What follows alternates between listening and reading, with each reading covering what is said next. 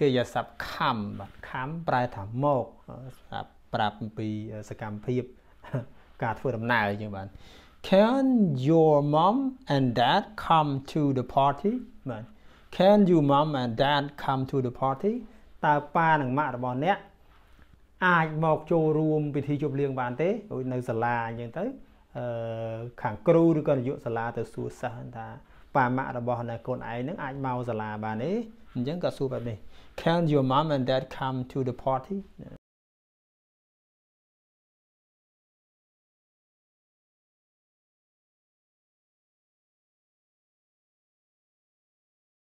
ជំរាបសួរសួស្តីបងប្អូនទាំងអស់គ្នាបាទសូមស្វាគមន៍មកកាន់ក្លឹបភាសារបស់យើងបាទអរគុណច្រើនសម្រាប់ការគ្រប់គ្រងសិក្សាភាសាអង់គ្លេសជាមួយនឹងក្លឹបភាសាបាទពីថ្ងៃនេះបាទពីក្លឹបភាសារបស់យើងយើងសិក្សាបន្តនៅក្នុងមេរៀន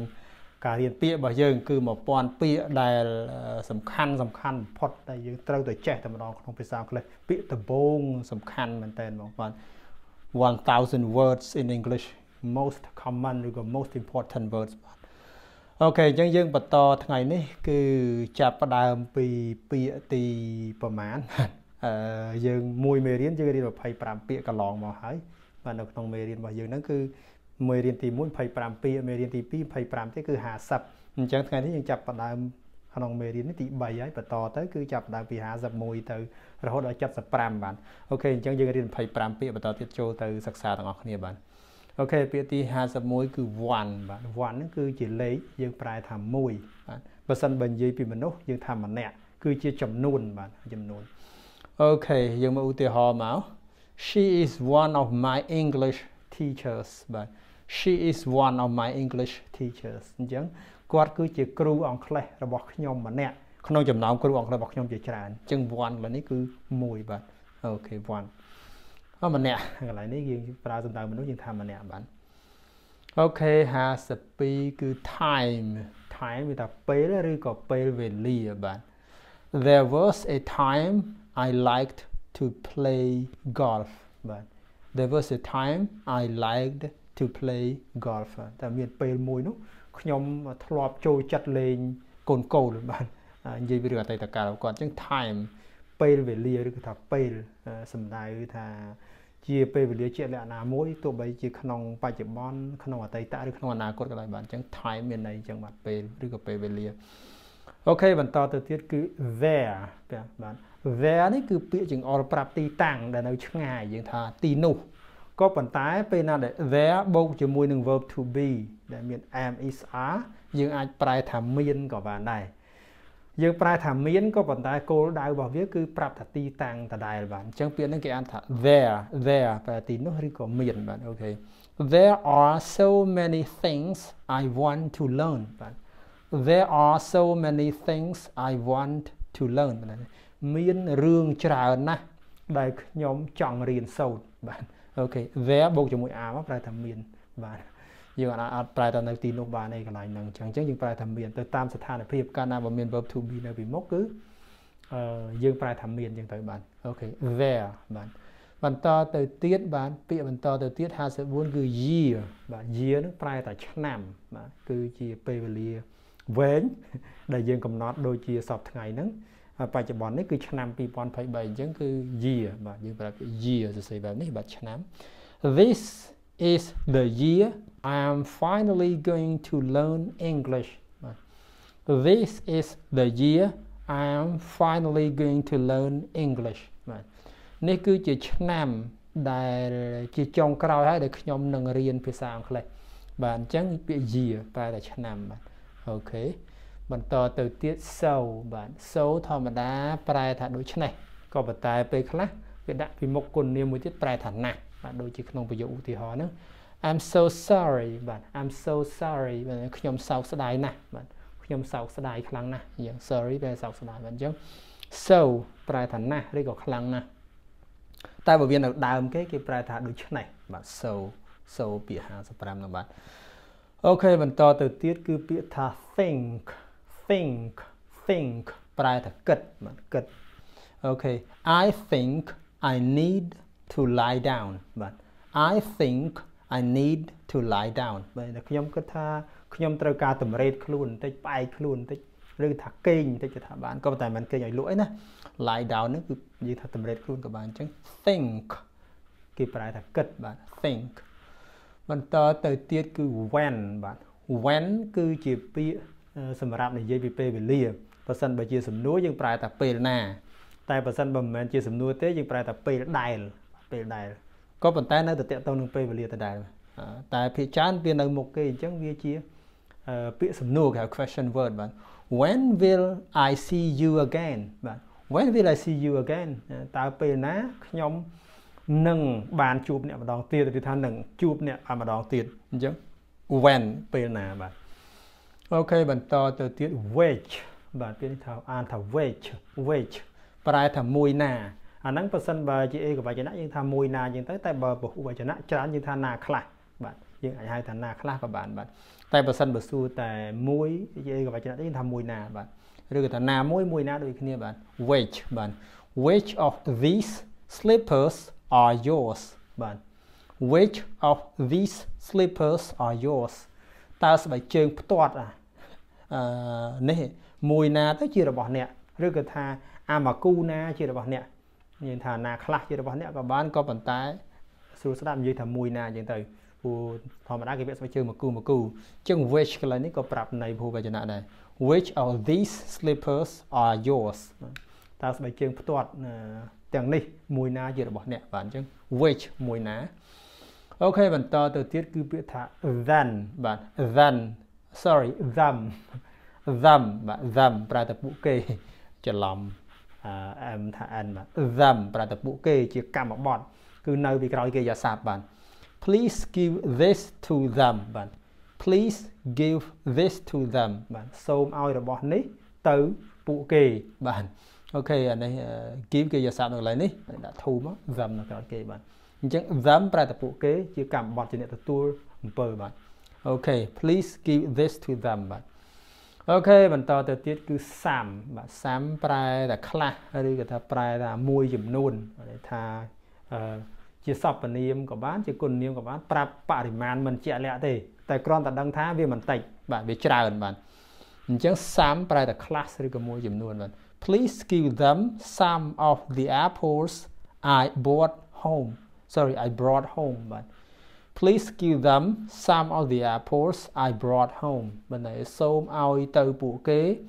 នៅផ្លែប៉ោមខ្លះឬថាផ្លែប៉ោមមួយចំនួនដែលខ្ញុំបានយកមកផ្ទះ brought home យកមកផ្ទះអញ្ចឹងខ្ញុំយកផ្លែប៉ោមមកហើយឃើញក្មេងៗមកអើឲ្យវាខ្លះទៅចែកវាម្នាក់មួយម្នាក់ពីរញ៉ាំលេងទៅបាទអញ្ចឹង30ប្រែតខ្លះបាទ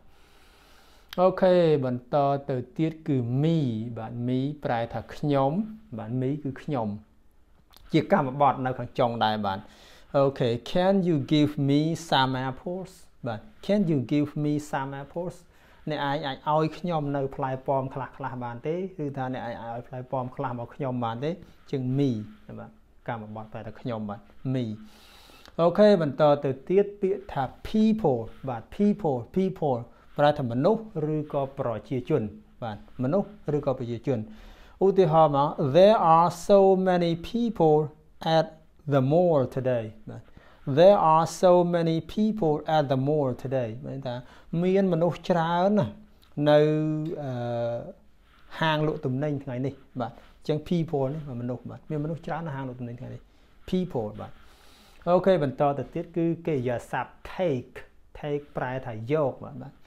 take យកយករបស់នេះយករបស់នោះឬថាយកទៅឲ្យនរណាអញ្ចឹងទៅបាទ please take home some of these apples បាទ please take home some of these apples សូមយកទៅផ្ទះនូវផ្លែប៉ោមខ្លះខ្លះពីផ្លែប៉ោមទាំងនេះបានន័យថាផ្លែប៉ោមច្រើនហើយយកពីនឹងទៅផ្ទះខ្លះទៅអញ្ចឹងពាក្យ take ប្រែតែយកនឹងបាទអូខេ take បាទ okay បន្តទៅទៀតគឺ out out ប្រែថាខាងក្រៅជាជាធ្នាក់បាទប្រើពីក្រោយកិរិយាសព្ទអញ្ចឹងភាសាច្រើនជាប់ក្រោយកិរិយាសព្ទបាទអូខេ please throw the trash out បាទ please please throw the trash out মানে សូមបោះសម្រាមចេញទៅក្រៅឬគេថាកវត្តសម្រាមចេញទៅក្រៅកុំទុកវានៅក្នុងនឹងកវត្តចូលទៅក្នុងធុំសម្រាមនៅខាងក្រៅយើង out ខាងក្រៅបាទអូខេបន្តទៅទៀត into បាទ into ចូលទៅក្នុងសំដៅដល់សកម្មភាព មានរយៈពេលលក្ខណៈដូចជាដំណើរអីចឹងតែហ្នឹងជាជាធ្នាក់សម្រាប់ប្រើពីក្រោយកិរិយាសព្ទដូចអាវមិនដែរបាទ My puppy ran into the woods បាទ My puppy ran into the woods កូនឆ្កែរបស់ខ្ញុំបានរត់ចូលទៅក្នុងព្រៃរត់ចូលទៅក្នុងកន្លែងដែលមានដើមឈើ wood នោះមិនមានឈើមានអីដោះចាអញ្ចឹង into បាទចូលទៅក្នុងបាទអូខេបន្តទៅទៀតគឺ just បាទគ្រាន់តែឬក៏ត្រឹមតែ បាទឧទាហរណ៍មក just close your eyes បាទ just close your eyes គ្រាន់តែបិទភ្នែករបស់អ្នកទៅបានហើយបាទ just គ្រាន់តែឬក៏ត្រឹមតែបាទ just បាទអូខេបន្តទៅទៀតគឺពាក្យថា see ជាកិរិយាសព្ទប្រែថាឃើញសំដៅដល់អំពីអឺសមត្ថភាពនៃភ្នែករបស់យើងដែលអាចឃើញអ្វីមួយបានបាទអូខេ did you see that បាទ did you see that អ្នកឯងបានឃើញរបស់នោះទេរបស់ឯមួយឧទាហរណ៍គាត់បាត់បិចអញ្ចឹងគាត់កំពុងដើររកគាត់សួរ did you see that មានន័យថាគាត់សួរថាអ្នកឯងបានឃើញវាអត់បាទអូខេអញ្ចឹង see ប្រែឃើញបាទបន្តទៅទៀតគឺ him បាទ him ប្រែថាគាត់សម្រាប់មនុស្សប្រុសហើយវាជាកម្មបត្តិបាទបើសិនបើក្មេងយើងថាហៅថាវាក៏បានក៏ប៉ុន្តែភាសាអង់គ្លេសមានពាក្យតែមួយនេះទេគឺ him បាទ អូខេ I heard him uh, sighing earlier បាទ I heard him uh, sorry singing earlier sorry uh, sighing ច្រឡំ and G មុន uh, and មុនបាទ I heard him singing earlier បានថាខ្ញុំបានឮគាត់ច្រៀងមុនគេក៏បានមុនលឿនជាងនរណាណីផ្សេងចឹងបាទ him បាទថាគាត់បាទ I heard him singing earlier ខ្ញុំបានឮគាត់ច្រៀងលឿនជាងគេក៏បានបាទអូខេបន្តទៅទៀតបាទទី69គឺ your ប្រែថារបស់អ្នក your របស់អ្នកគឺជាគុណនាមកម្មសិទ្ធិបាទអូខេ your mom is here បាទ your mom is here បានន័យថាម្ដាយរបស់អ្នកឬក៏ម៉ាក់របស់អ្នកនៅទីនេះបាទ your របស់អ្នកបាទ អូខេបន្តទៅទៀតគឺកិរិយាសព្ទខំបាទខំប្រែថាមកសម្រាប់ប្រាប់អំពីសកម្មភាពការធ្វើដំណើរជាងបាទ Can your mom and dad come to the party បាទ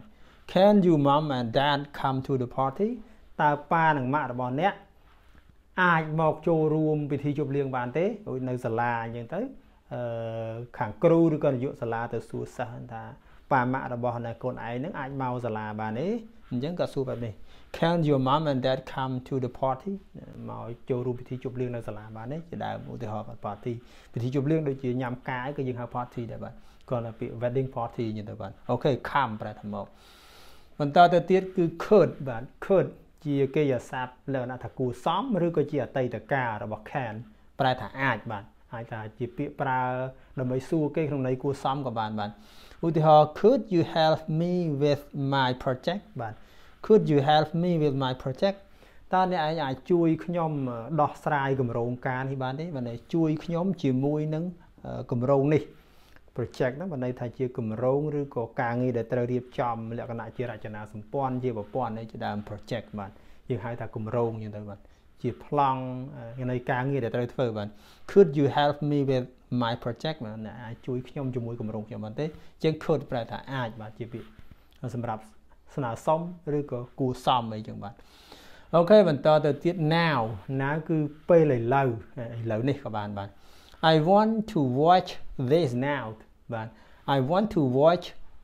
this now ខ្ញុំចង់មើលរឿងនេះឥឡូវនេះ ចង់មើលអាមួយនេះឥឡូវនេះឧទាហរណ៍ឃើញរីច្រើនប្រមូលទៅមើលកុននេះឃើញរីច្រើនសួរចង់មើលមួយណា I want to watch this now ចង់មើលអាមួយនេះឥឡូវបាទនៅ here now ឥឡូវនេះបាទបន្តទៅទៀត than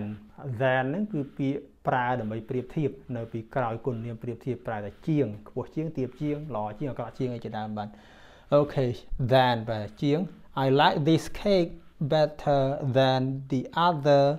one you showed me បាទខ្ញុំចូលចិត្តនំមួយនេះខ្លាំងជាងមួយទៀតដែលអ្នកឯងបង្ហាញដល់ខ្ញុំបាទអញ្ចឹង than ប្រែតែជាងបាទអូខេ I like this cake better than the other one you showed me បាទ okay បន្តទៅទៀតគឺពាក្យថា like like ប្រែថាចូលចិត្តបាទឧទាហរណ៍ I like this bag better than the other one you showed me បាទ ប្រយោគស្តៀងស្តៀងគ្នាដោយសារប្រយោគវែងហ្នឹងទៅដាក់ស្តៀងស្តៀងគ្នាដើម្បីបងប្អូនឃើញដដែលដដែលអឺចាំអាប្រយោគដែលផ្សេងនឹងផងបាទខ្ញុំចូលចិត្តកាបូបនេះ ជាងអាមួយទៀតដែលអ្នកឯងបានបង្ហាញមកខ្ញុំបាទអូខេនេះ like បាទចូលចិត្តបាទអូខេបន្តទៅទៀតចុងក្រោយសម្រាប់ថ្ងៃនេះគឺ other បាទ other ប្រែថាផ្សេងទៀតបាទផ្សេងទៀតដតីទៀតក៏បានបាទឧទាហរណ៍មក I like these shoes better than the other ones you showed me បាទខ្ញុំចូលចិត្តស្បែកជើងទាំងនេះខ្លាំងជាងស្បែកជើងផ្សេងទៀតដែលអ្នកឯងបានបង្ហាញខ្ញុំបាទខ្លាំងជាងខ្ញុំចូលចិត្តស្បែកជើងនេះជាងស្បែកជើងដែលអ្នកឯងបង្ហាញខ្ញុំអញ្ចឹងគេយកទៅហាងអញ្ចឹងទៅម្ចាស់ហាងគេយកជើងនេះនេះមកបង្ហាញអញ្ចឹងទៅអូខ្ញុំចូលចិត្តអាមួយនេះជាងអាខ្ញុំរើសខ្លួនឯងជាងជាងអ្វីដែលអ្នកឯងយកមកបង្ហាញថាស្អាតហ្នឹងបាទអូខេ អញ្ចឹងទាំងអស់នេះគឺជាពាក្យដែលយើងត្រូវរៀនក្នុងគោលដៅ1000ពាក្យក៏ប៉ុន្តែយើងរៀនម្ដង25ម្ដង25នៅក្នុងមេរៀនទី3នេះគឺយើងចូលដល់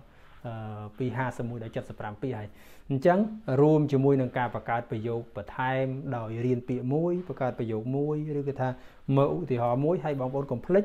យកទៅអនុវត្តពេលដែលរៀនបានមួយហើយរៀនសរសេរបង្កើតប្រយោគខ្លួនឯងបានមួយឬពីរបន្ថែមទៀតនោះទៅ ការរៀនភាសាអង់គ្លេសរបស់យើងកាន់តែរីចម្រើនបាទអូខេខ្ញុំសង្ឃឹមថាអ្នកទាំងអស់គ្នាអាចធ្វើបានបាទហើយអរគុណច្រើនសម្រាប់ការតាមដានសិក្សាមេរៀនភាសាអង់គ្លេសជាមួយនឹងក្លឹបភាសាជារៀងរហូតមកបាទជាពិសេសអរគុណសម្រាប់ការតាមដានសិក្សាវីដេអូមេរៀនមួយនេះតាំងពីដើមដល់ចប់ផងដែរបាទសូមគោរពលាបាទ